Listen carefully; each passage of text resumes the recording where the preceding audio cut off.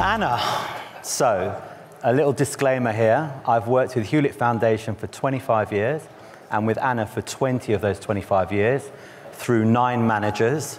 We've seen everything together. Yes. Um, Ana has 18 years of direct investing experience and 18 years of um, working for the Hewlett Foundation, investing in managers. She has written a book 36 years later, and I think of this book um, as the, the Venn diagram middle between margin of safety for Seth Klarman and David Swensen's portfolio theory. Um, but let's forget all of that, Ana. I've got the first question I want to ask you is why do you hate being called an allocator? Because I, I, like, it makes me cringe every time they call LPs allocators. Um, I would say the reason is allocators makes it seem like we're not responsible for the underlying investments. And the reality is we own every single investment in the portfolio. So you have to think of yourself as an investor first, not an allocator. And I think bringing that mentality of being an investor and really digging and making sure you would want to put this in your portfolio is part of our responsibility. So what should we call you? Investors. Investor, okay. All of you remember that, okay? So, Ana, let's talk about your book, um, The Climb to Excellence. This mountain, can you tell us what this mountain represents? Is so, it you? Is it Hewlett? Is it your life? uh, it's Hewlett. Uh, it's the Hewlett objective. And part of the reason it's um, the whole entire book is really a metaphor, is, is climbing a highly technical mountain. And the mountain is whatever it is your investment committee or your family office, whatever your investment objective is, that is your mountain you are climbing. And it means you have to have different techniques, different equipment, different team to climb different mountains. And it all is about what are the skills needed to get to the top of that mountain. And that's decided by the investment committee and the board, or in a family office, the founder. But let's go back to base camp 20 years ago. You arrived at Hewlett Foundation the tool set that you had when you worked for RCM, which of those tools did you take into Hewlett with you? And what, let's start with that. Let's. So I would say the, the, the, tool that they hired me for was my ability to uh, pick stocks and portfolio construction. So part of the reason why I had been a very successful investor was portfolio construction. I was able to generate alpha consistently year after year. In the 18 years I ran money, I only had one year where I didn't generate alpha. Wow. And a lot of that was due to portfolio construction, and that was the skill that they wanted. Um, I arrived at the Hewlett Foundation, and they had just sold down all of their donor stock. And so my job was really to think about portfolio construction and they already had great governance. So I joined having asked the one question that if you ever want to switch to this side, you would want to say, and that is, what is your governance structure? Um, I'm a big fan of that because it allows you to build the team that you really need to have um, when you get more discretion as a CIO, and it just makes everything flow better. So Laurie Hoagland, legend, late Laurie Hoagland, who was the first CIO of Stanford University, was Ana's CIO when she joined the Hewlett Foundation. What, what did Laurie teach you at the beginning that you still continue to use today? So Laurie taught me the art of listening. Uh, Laurie was a person of few words, but he listened intently. And I think many times we go meet with managers or we sit in committee meetings with our investment committee or our board and we don't really listen. We're so prepared with either our next question, if it's with our managers, or with our rebuttal and defense, if we're talking to our boards and our investment committees. And I don't think we spend the time to really listen to what is underneath that question. What is it they're concerned about that they're asking us? And I find that that's one of the best ways to really sort of solidify your relationship with your IC. So you started at Hewlett, you started building that portfolio, and I will tell you all, one of the first decisions Ana made was to fire the manager that I worked with, but we're still friends 20 years later. She went to Laurie and said, um, can I fire this manager? And she fired her, so that's how we met, actually, the first time. So, you know, it shows that relationships do matter. But how did you start building the team and realize that you needed to skill the team to climb this mountain? So just having a skilled team is not enough. Um, you need a team that actually works at the same pace, um, a team that at least in pairs. So I, I run a very concentrated portfolio and I run a very small team. And part of the reason is every single member of the team does their own work. Yes, we, we have like one layer of analysts down, but the reality is I'm in every meeting, we're digging in. It's a very active portfolio. And what you want really is people who are adaptable, who are skilled, that goes without saying, but who are able to have different skills among themselves. I have one who is a extraordinarily good pers- people person. I have one who's very good in quant. Um, one who just treasures relationships and is able to see sort of that magic in you know one of their junior people. Everybody has a different skill but my job is to bring out their superpower over the course of the time they work for me. So you're talking about assets under management and your team. Can you just tell everyone how much you manage and how the size of your team? So we run $13 billion um, the size of my team I call them nine. Most of you would call five, four of them uh, non-investment people. So we basically are six investment people, including myself, five, five now, investment people, including myself, and we manage all our relationships. So six people, $13 billion, and you've been top five over one, three, five, seven, 10, and 15 years. I'm sure all of you are asking the question, how the hell do you do it with six people? Can you, can you elaborate? Um, so first, we run hard. I mean, people that come on our team need to understand we run hard. Not everybody makes it on our team, quite honestly. Um, the reason I liken it to a team to a team that climbs highly technical mountains is the moment you realize that somebody on your team is not running at your speed, you have to slow down and help them go to a different mountain. There are many teams, there are many family offices, endowments, foundations places where they can work and they can thrive. But if you're not running at our pace, you will have a miserable existence because you will feel like it's like if you're not a runner and you run with a really good runner and you feel like you're being pulled along, it's miserable.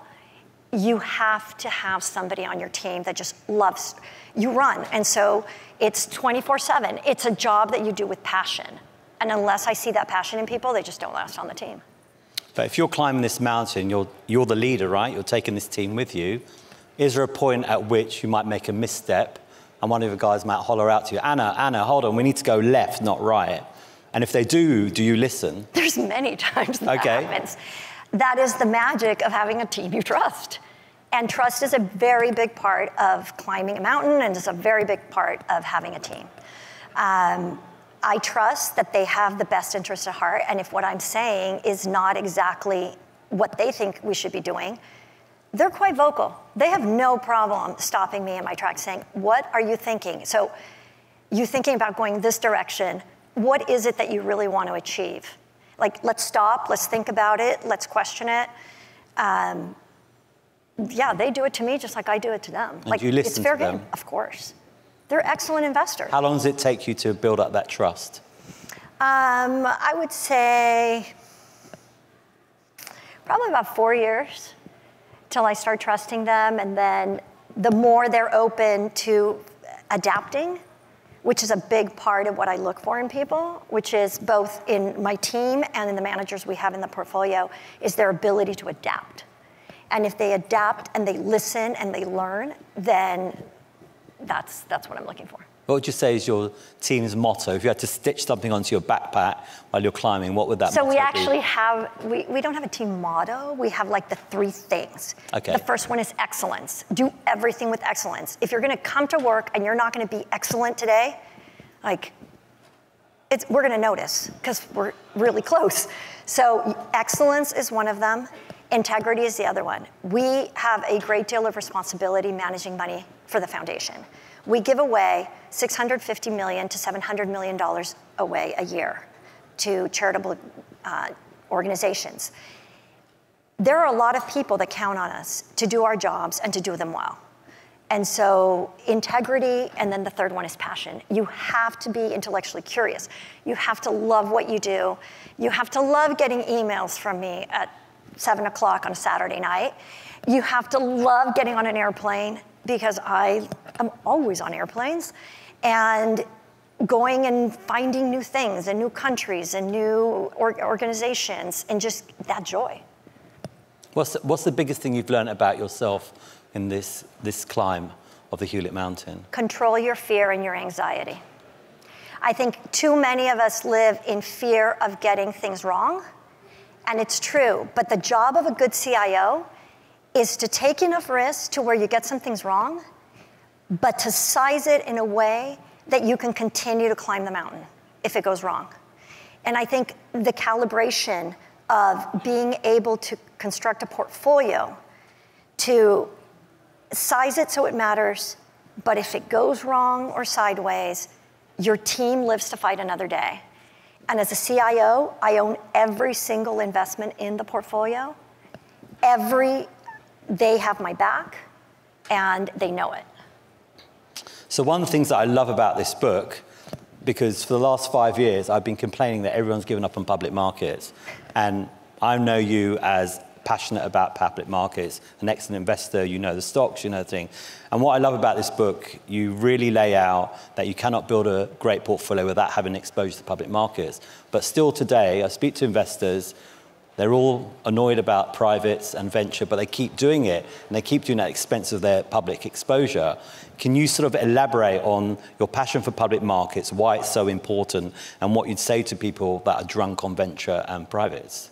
Okay, so I don't, I wouldn't claim people are drunk on venture and buyout, but I'm not saying I'm put, these are my words, not yours. Um, I would say the reason why you want public markets, and I know it's very cool to do privates and it's so much sexier, believe me. But public markets provide flexibility. And the reality is, not only does the world change, the organizations for whom we run money change. And if you tie yourself too much in private markets, you aren't able to flex and you're not able to actually change the objective. And sometimes institutions are very fortunate, they receive transformative gifts, and that changes the entirety of how the portfolio needs to be constructed. And sometimes it's exactly the other, the other way. The organization wants to spend more money. And if you have to all of a sudden increase your spending rate to seven or 10%, and you already put this portfolio on a path to have 50% privates, you have no flexibility. And so I think people want just look at the, at the expected return and the somewhat pretend volatility of privates and say, okay, let's put them in. But what any type of optimization model doesn't capture is the liquidity profile and the liquidity profile of the actual client, which is the organization that needs the money. And your number one job as a CIO is not to generate, it is to generate excellent returns. The number one job is to have enough money when the C, CFO calls you and says, we need this much money tomorrow. Or we need this much money over this course of the next two years because we have this great project. And I think too many people don't add that dimension of flexibility. And I just, that's why we always will have an allocation to publics. Can you elaborate how much you have in public markets today in your portfolio? So we're about half publics, half privates. And part of the reason is um, we also have fixed income, which I know a lot of endowment and foundations don't have. We have it as an accordion, and we believe it's an accordion asset class. When and the accordion grows when absolute return on fixed income grows, and then it goes to zero, which was most of the last sort of three years of my life, was at zero. And then we just grew our fixed income um, now that fixed income and credit can earn a decent absolute return. It just seems sort of insane to not anchor your portfolio when all of us are, well, many of us are expected to have payouts sort of somewhere between 5 and 7%, to sort of say, hey, at 5%, I can secure part of my payout already by putting it in fixed income or seven or eight or 10, whatever flavor of fixed income you want, um, it just makes more sense. So, can you elaborate when you joined Hewlett and they just sort of um, sold down the stock? can you talk about the build out of the private portfolio? Because you know, I think a lot of people are interested in that and how that happened. Did you do privates first, venture first, kind of how you thought about the whole landscape?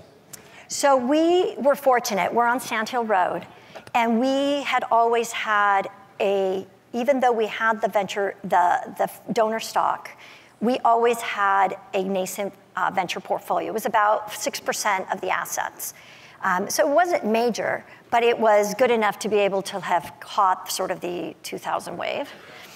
Um, by the time I joined, uh, venture was about 5% of the portfolio. Um, our private portfolio in general was about 15% of the portfolio, and I was responsible for all publics. And over time, we grew that portfolio. Again, though, we decided that we would do it in a very concentrated fashion. So we have 10 buyout managers, 10 venture managers, six real estate managers. Um, I mean, we really try to be quite methodical about it.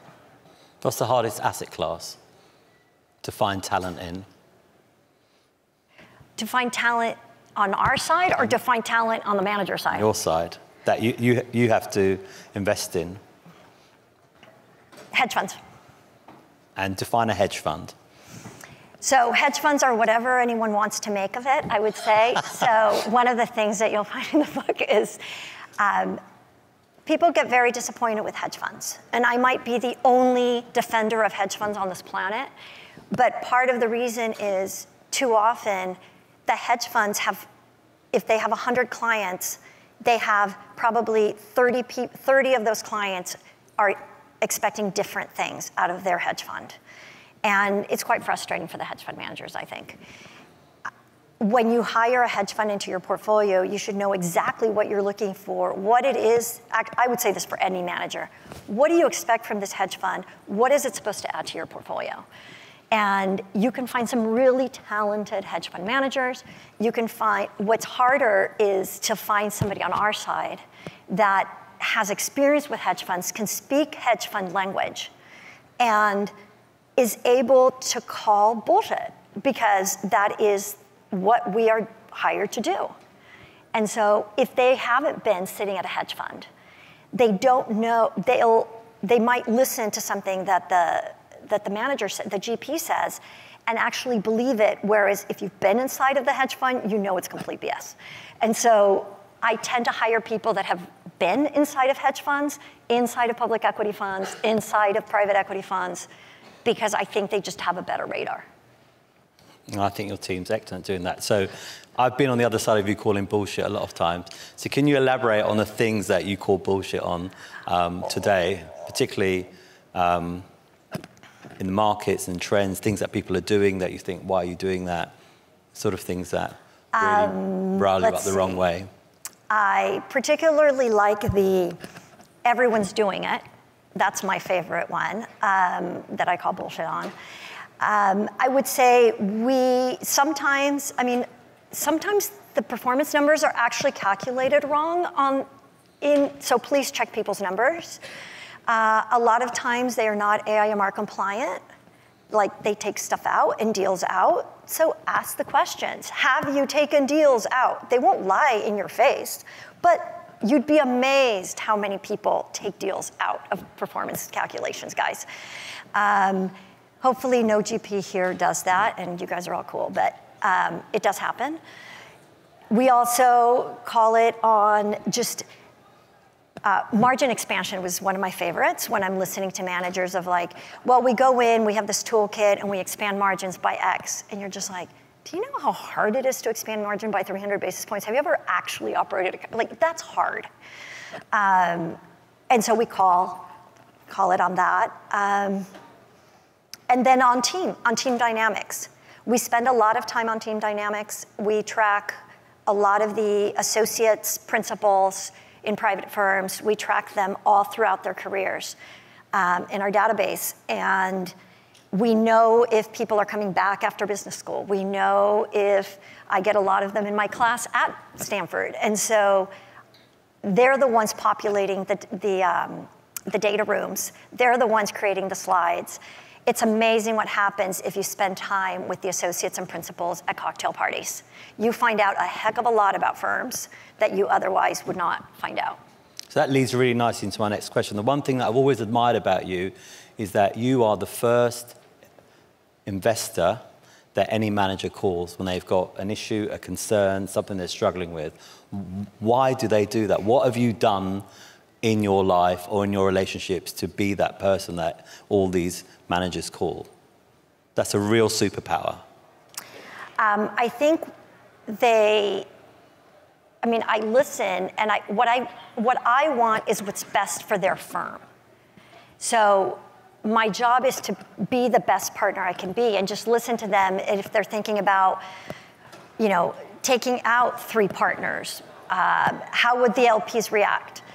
If they're thinking of slightly modifying the the objective that they're trying to follow. How would the LPs react? Just helping them think through a lot of the strategic questions about their firms and what direction they want to take them. It's fascinating to me, and I also don't ever talk about one firm to any other firm. I, everything is in a cone of silence in each one, and over the course of years, they know that that's who I am. I, I keep their secrets and I try to just be objective.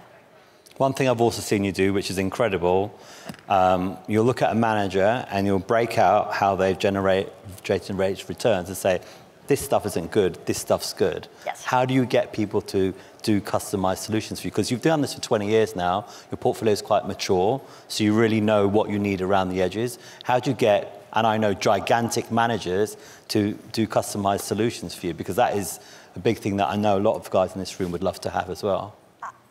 I try to make them see that if they create a product for me and they can generate a good track record, it'll be a product that a lot of people will take up. And therefore, use me as the beta test. Let's see how it goes. I'll give you constant feedback on this. And then let's see, and then you could probably market this to a whole lot of people and it'll be. And so that's how I've convinced them. Do you think working for a mission-based organizations helps managers think about you in a much more positive light than it I does? used to think that. You don't now? I don't anymore Why? because I think there's a lot of people I'm competing for allocations with a lot of really great organizations. And so it used to be a differentiated source. I could say, oh, we're Hewlett, oh, we're so special. Um, no, I mean, there's a lot of endowments that are doing great things with their scholarship programs. There's a lot of hospital systems that are doing great things to cure people. Like, I can't say, oh, our, our causes are better than someone else's. That would be rude. Um, and so I used to think that was a, a competitive thing. I think at this point, it's the partnership and the reputation Hewlett has for long-term partnerships on both the philanthropic side as well as the investment side. We're known as being relationship-centric. And I think that does it. So, apart from this book, which other book would you recommend the audience reads? Um, well, I'm sure everybody's already read Dave Swensen's book, so I don't think that would be uh, another one. Um, this is actually, just as a caveat, you can read it cover to cover, but that's actually not only the reason I wrote it. I spend a lot of time on the glossary and the index so that it's a reference guide. You get asked about benchmarks, either because you're a GP and somebody's asking you about constructing their benchmark, or you're an LP. Six pages will tell you what you need to know.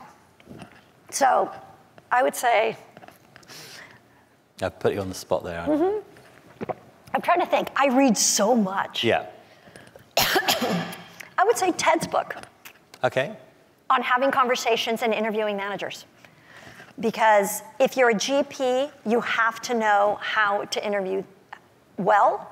And if you're an LP, he does he actually lowers the threshold for um, doubting yourself, especially for younger members of your team.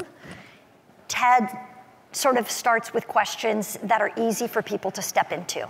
And I think younger members of teams do have um, a reluctance to ask that piercing question. And TED teaches you how to ask that question in a less harsh way.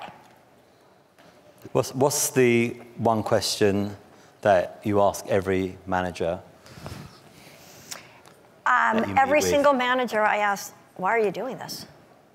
I mean, what drives the manager? The, di- the real difference between being a GP and being an LP is as an LP, you have to believe not only in the opportunity set and in the, you have to judge the GP's ability to execute on a strategy.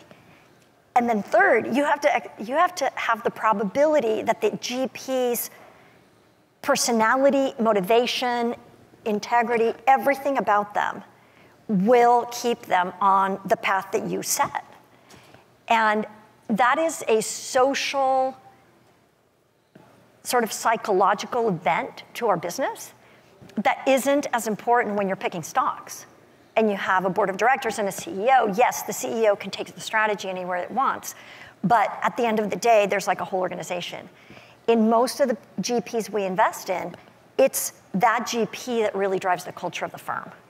And so you have to be really sure that that GP is driven to have returns and have returns for their clients, not returns in their pocketbook, be the reason they're getting up in the morning and doing their job. You've got one minute left, and you said you had a question for me so as you, our last question. So Rahul sees everyone. Rahul knows everyone. What is it that you think I do? Because I don't think what I do is that different, but it is. But why? I don't. You're not a trend follower. You do No. what you want to do. I learned two things from you, which were correlations. I remember asking Ana, why do you need to know what stocks we have in our portfolio? Stupid question, of course. And she said to me, well, you've got to understand I have all these managers. They say all holding the same stocks. I'm not doing anything that's clever. So obviously you need to have, and then your obsession with portfolio construction. Yes. I, I just have never met anyone who's so obsessed with portfolio construction, and it's paid off in heaps for you. So um, your team are just like no other team I've ever met. I mean, they're all frigging rock stars. It's an honor and a pleasure to work with all of you. So thank you guys. Thank you. Please thank Ana, and please buy this book.